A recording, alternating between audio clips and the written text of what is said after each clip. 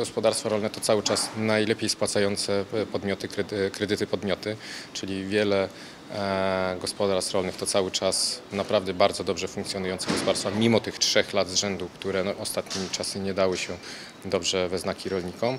E, I oczywiście, tak jak można się spodziewać, to jest podstawowa zasada ekonomii, efekt skali robi swoje.